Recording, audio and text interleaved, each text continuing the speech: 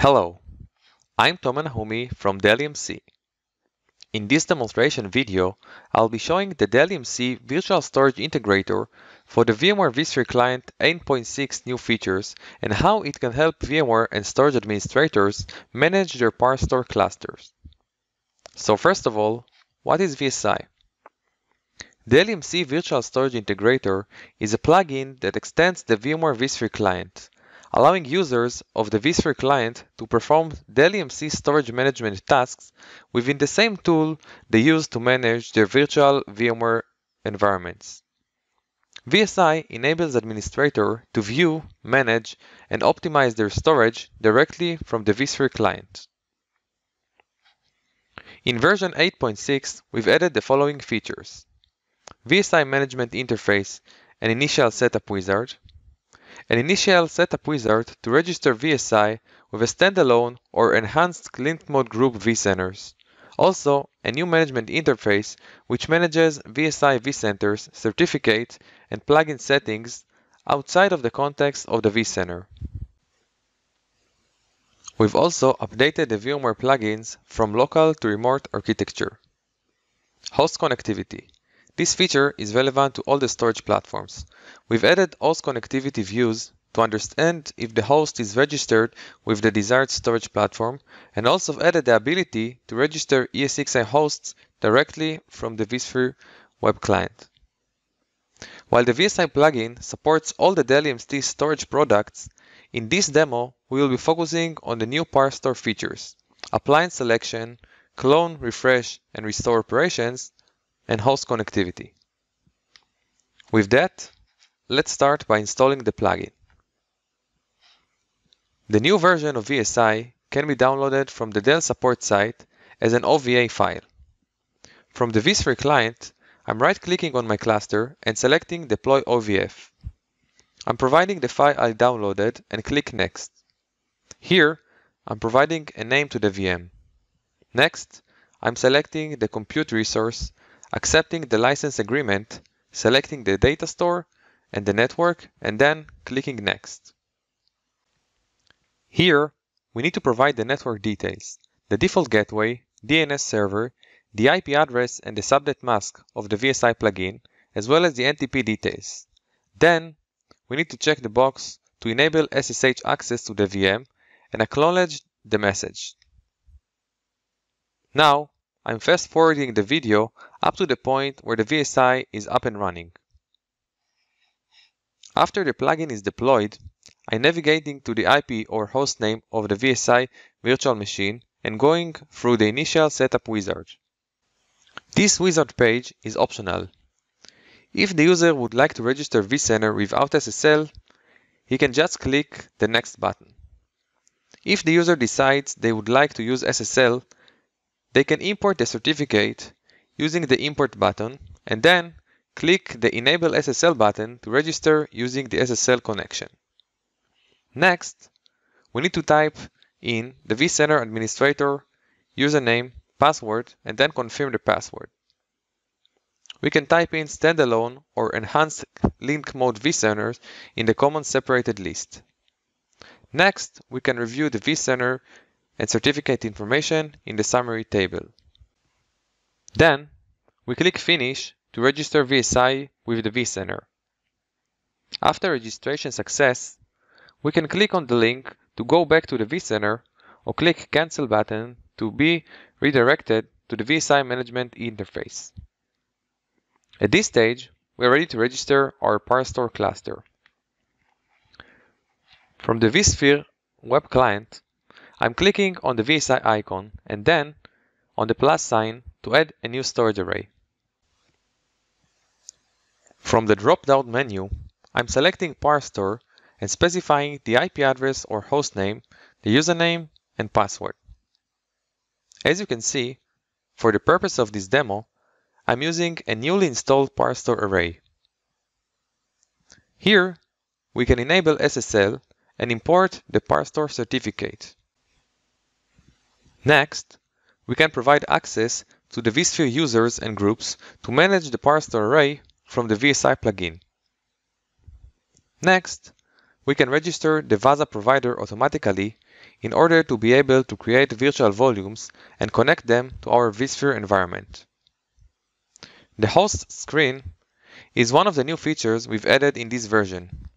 This feature allows us to register our ESXi hosts directly from the VSI plugin as hosts in the PowerStore array, whether they are connected via FC or iSCSI. Next, I'm clicking Finish to add the PowerStore cluster. If we now go back to the PowerStore UI, we can see that all the ESXi hosts I selected have been added to PowerStore as new hosts, including their WWNs. By navigating to the vCenter storage providers, we can see that the new VASA provider has been registered successfully as well. Now, let's create a new data store. I'm navigating to the Host and Cluster tab and then right-clicking on my cluster and going to the Dell EMC VSI Actions.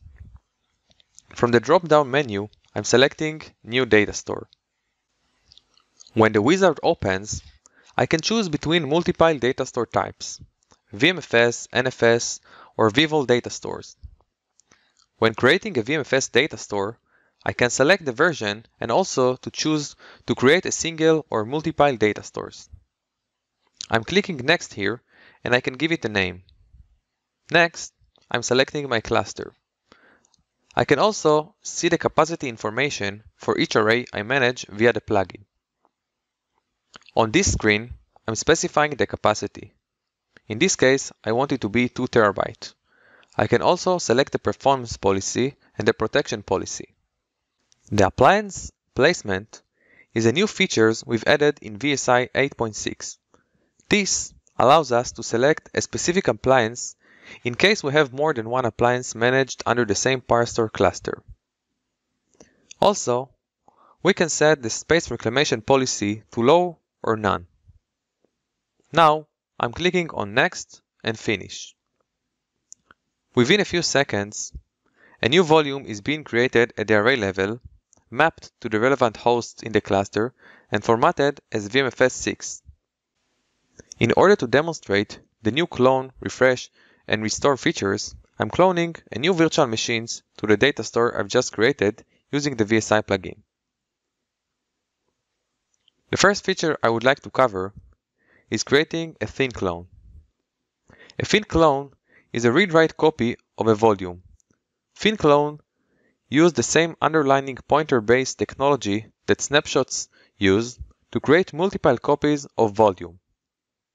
When users create a thin clone, it acts as a regular resource and is listed with the other resources of the system.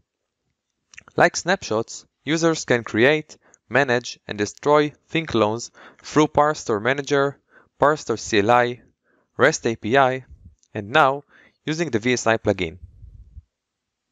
I'm right-clicking on a data store and choosing Create Thin Clone from the Dell EMC VSI menu. I'm selecting the host to mount the clone. This host will be rescanned to mount the new clone, and the clone data store will be named as snap minus and a data store name. As you can see, a new thin clone has been created and mounted on the ESXi host as a data store.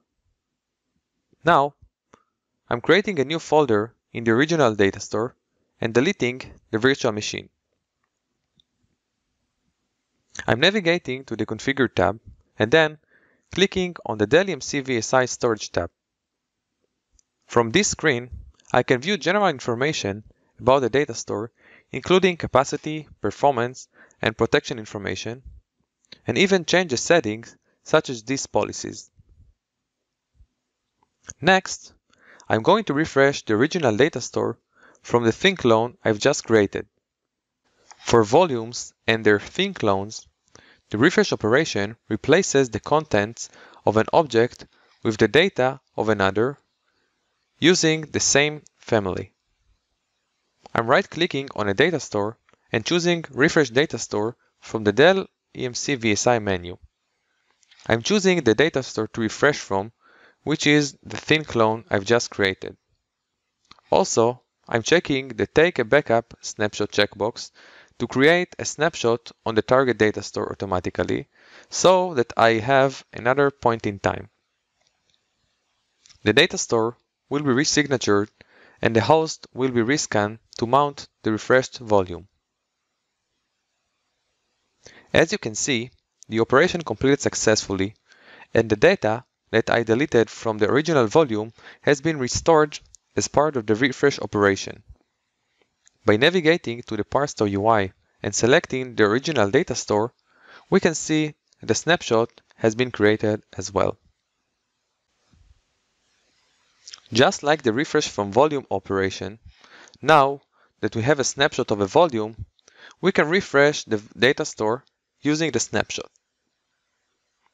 I'm going to the data store and clicking on Configure, Storage, and Snapshot. Expanding the More actions on a snapshot and choosing Refresh using Snapshot.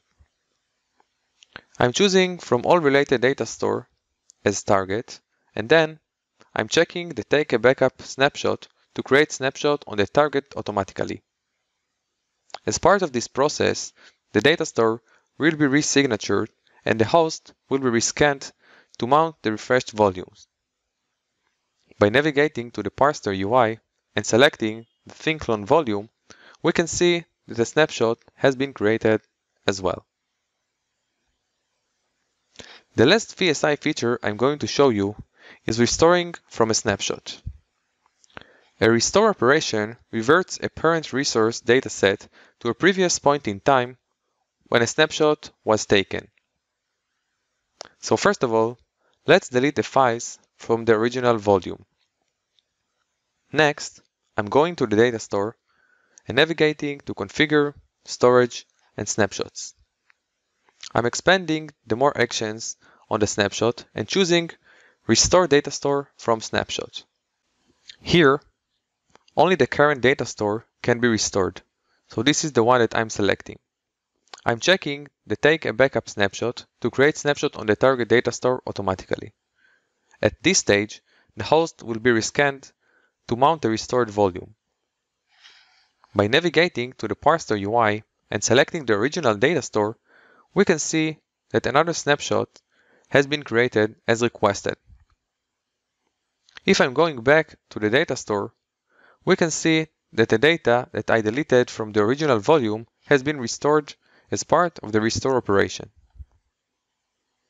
In conclusion, using the Dell EMC VSI plugin for VMware vSphere along with PowerStore can help streamline common tasks administrator incur daily, all while easily managing settings and tasks straight from the vCenter web client.